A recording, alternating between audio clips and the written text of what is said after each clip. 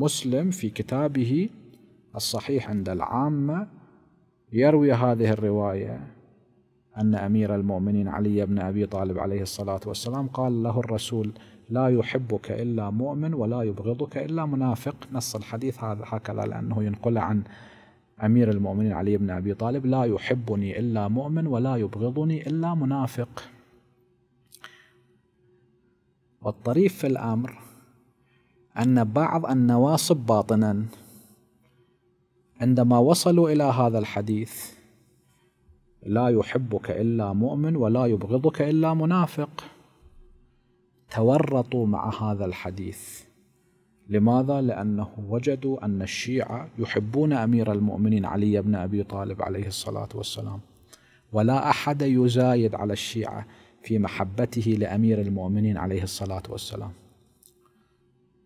من جهة أخرى وجدوا أن بعض الصحابة والتابعين وبعض كبار أئمتهم كانوا يبغضون الإمام عليا عليه الصلاة والسلام. معاوية بن أبي سفيان حارب أمير المؤمنين عليا عليه الصلاة والسلام. إلى اليوم الأخير وأمر بسبه على المنابر. زين هذا الشخص كان يبغض علي بن أبي طالب. زين هم يردون يدخلوه ضمن الصحابة المؤمنين. من طرف آخر توجد فيه علامة النفاق وهذه العلامة في حديث الرسول صلى الله عليه وآله الثابت بالأسناد الصحيحة.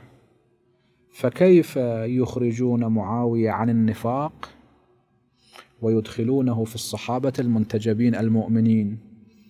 حتى يخلون دوره حاجز وسياج أن واحد لا يتمكن من أن ينال من معاوية لأن النواصب أمويين بالطبع عادة.